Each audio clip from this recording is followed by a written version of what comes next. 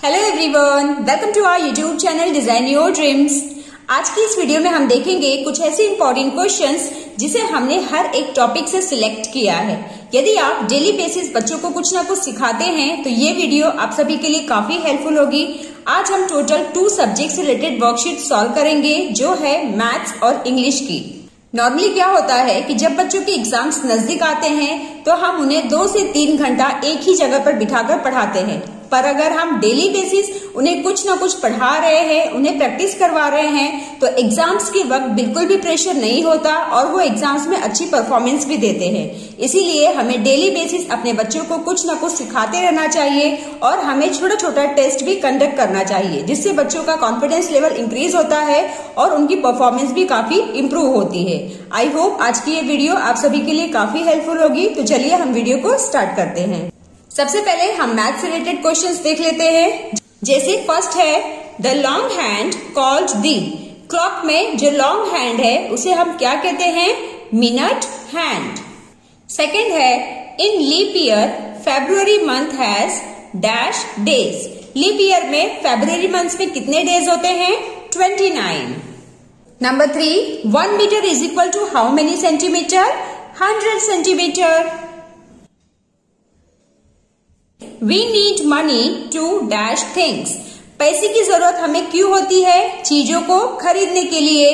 तो यहाँ पर हम लिखेंगे we need money to buy things number five is Indian currency is Indian currency क्या है? Rupees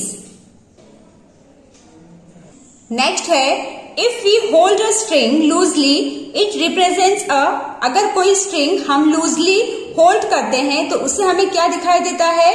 Curved line. Okay? There are dash months in a year. एक साल में कितने मंथ्स होते हैं? Twelve months.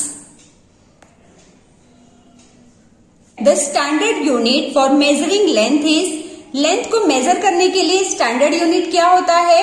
मीटर। सो so, इस तरह से विद इन टू मिनट्स हम अपने बच्चों को fill in the blanks follow करते हुए बहुत ही कम समय में कई सारे टॉपिक्स की प्रैक्टिस करवा सकते हैं। Next question is write the following amount in words यहाँ पर कुछ अमाउंट्स लिखे गए हैं इसे बच्चों को इन वर्ड्स कन्वर्ट करना है। तो कैसे लिखा जाएगा? फ़र्स्ट हम लिखेंगे twenty six rupees and fifty paise second amount क्या हो जाएगा? Seventy two rupees and five paise इसी तरह से थर्ड अमाउंट कैसे लिखा जाएगा? Forty three rupees and twenty five paise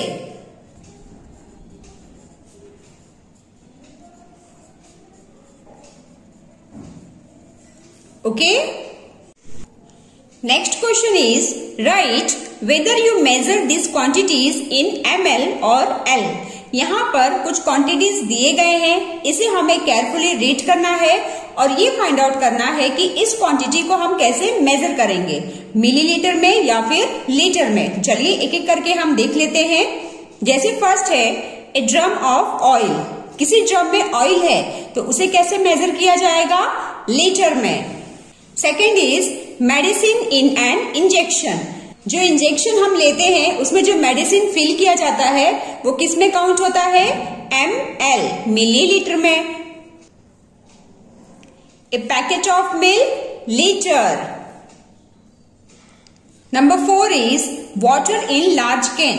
किसी लार्ज कैन में वाटर है तो उसे कैसे मेजर किया जाएगा लीटर में a jug of water litre में सो so, इस तरह से हमने जाना कि जब भी क्वांटिटी ज़्यादा होती है तो उसे हम लीटर में मेजर करते हैं और जब भी क्वांटिटी स्मॉल होती है तो उसे हम मिलीलीटर में मेजर करते हैं okay okay?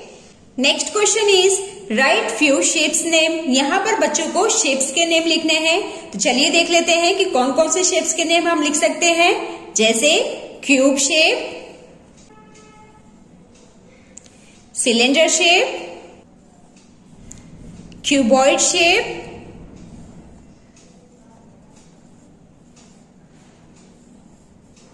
cone shape rectangle shape and square shape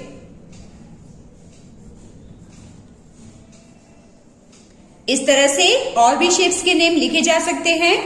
Next is draw the following यहाँ पर बच्चों को वर्ड्स रीड करना है और उसे ड्रॉ करना है। जैसे फ़र्स्ट क्या है? कर्व्ड लाइन सो यहाँ पर कर्व्ड लाइन हम ड्रॉ करेंगे।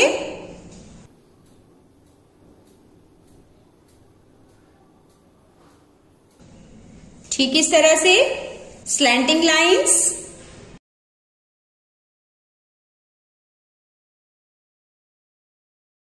like this. Horizontal line. Horizontal line को हम स्लिपिंग लाइन भी बोलते हैं. वर्टिकल लाइन वर्टिकल लाइन को स्टैंडिंग लाइन भी कहा जाता है. ठीक इस तरह से.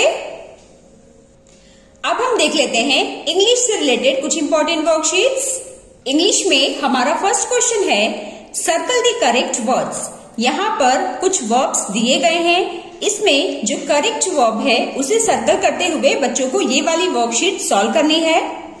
इसके कुछ रूल्स हैं जो हमें अपने बच्चों को ज़रूर एक्सप्लेन करना है।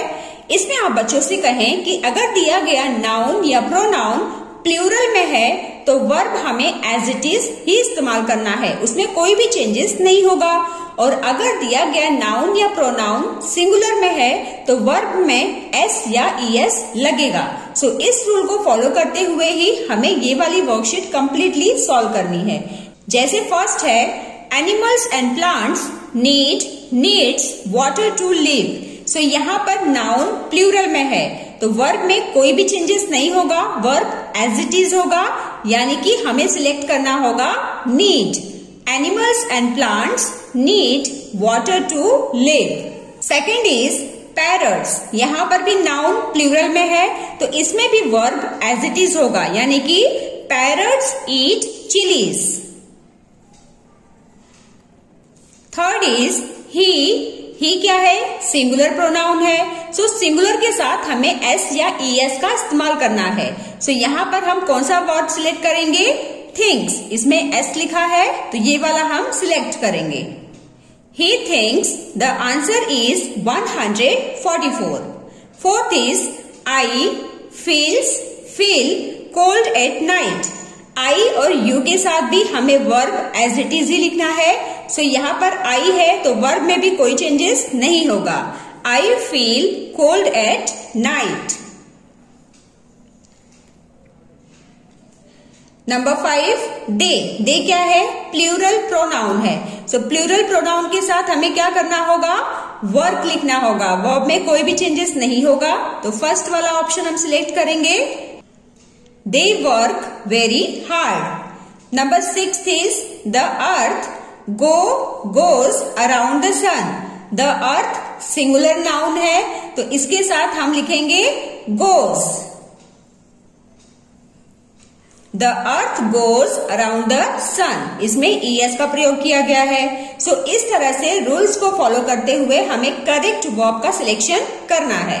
Second worksheet is fill in the blanks with in और इन टू सो इसमें हमें अपने बच्चों को कैसे एक्सप्लेन करना है कि कहाँ पर उन्हें इन का इस्तेमाल करना है और कहाँ पर उन्हें इंटू का इस्तेमाल करना है। चलिए, इसे हम देख लेते हैं। इनका इस्तेमाल हम कब करते हैं? जब कोई चीज़ हमें दिखाती है कि वो वन प्लेस और वन पोजीशन पे है तो उस वक्त हम इनका इस्तेमाल करते हैं। और जब कोई चीज़ एक्शन हो रहा है उसमें मूवमेंट हो रहा है जैसे ये एनिमल बॉक्स के अंदर जा रहा है अभी गया नहीं है। यानी कि इसमें मूवमेंट है तो इसके लिए हम इंटू का प्रयोग करते हैं। सो so, इस तरह से आप बच्चों को इन और इंटू का प्रयोग करना सिखा सकते हैं। सो so, इस तरह से फ़र्स्ट सेंटेंस हम रीड कर लेते हैं। The snake slithered dash its hole so यहाँ पर हमें मूवमेंट दिखाई दे रहा है तो इस वक्त हम कौन सा प्रिपोजिशन यूज़ करेंगे? Into The snack slithered into its hole. Okay. Second is, the baby is dash the pram. So, यहाँ पर हमें सिंगल पोजीशन शो हो रहा है तो इस वक्त हम प्रीपोजिशन इन का इस्तेमाल करेंगे the baby is in the pram third is the bee flew dash my room so यहाँ पर भी हमें मूवमेंट शो हो रहा है तो इस वक्त हम इंटू का इस्तेमाल करेंगे the bee flew into my room. Fourth is the children ran dash the house to have dinner so यहाँ पर भी हमें मूवमेंट शो हो रहा है। तो इस वक्त भी हम इंटू का ही इस्तेमाल करेंगे। Number five is the toys are dash the cupboard so यहाँ पर सिंगल पोजिशन शो हो रहा है। सो so, इसमें हम लगाएँगे in the toys are in the cupboard so इस तरह से आप बच्चों को इन और इंटू का प्रयोग करना सिखा सकते हैं। नेक्स्ट इज़ मेक सेंटेंसेस यहाँ पर बच्चों को वर्ड्स का इस्तेमाल करते हुए सेंटेंसेस फॉर्म करने हैं, जैसे बुक तो बुक से रिलेटेड कोई भी सेंटेंस फॉर्म कर सकते हैं like my grandmother gifted me a book second is football football is an outdoor game number three is poor poor में हम कौन सा सेंटेंस बना सकते हैं? जैसे we should always help the poor people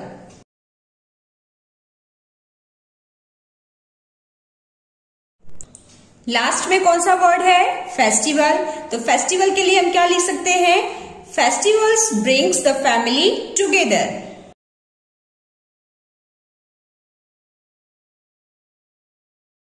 okay next question is fill in the blanks with am is और are यहाँ पर बच्चों को एम इज़ और आर का इस्तेमाल करना है, यानी कि हेल्पिंग वर्ड्स का इस्तेमाल करना है करेक्ट प्लेस पे। तो चलिए देख लेते हैं कि कैसे इसे लिखा जाएगा। जैसे, Siya dash a smart girl. तो सिया क्या है? सिंगुलर नाउन है। तो सिंगुलर नाउन के साथ हम इज़ का इस्तेमाल करते हैं। Siya is a smart girl. Second is the children dash at school children plural noun है सो so इसके साथ हम आर का इस्तेमाल करेंगे. The children are at school we dash happy to do our work we यानी एक से ज़्यादा सो so इसके लिए भी हम आर का इस्तेमाल करेंगे. We are happy to do our work I dash a student I के साथ एम का प्रयोग होता है. I am a student next is change the following verbs into past form यहाँ पर कुछ वर्ब्स दिए गए हैं इसे बच्चों को पास्ट फॉर्म में कन्वर्ट करना है। जैसे हेल्प को पास्ट फॉर्म में कन्वर्ट करके हमने क्या लिखा है? हेल्प्ड तो इसी तरह से हमें सभी वर्ब को पास्ट फॉर्म में कन्वर्ट करना है। सो so, लव का क्या हो जाएगा? लव्ड पुट पुट का कोई भी चेंजेस नहीं होगा। पुट का पास्ट फॉर्म भी हम पुट ही लिखेंगे। ड्राई ड्राइड गो का हो जाएगा। Went need needed come came sit sat build built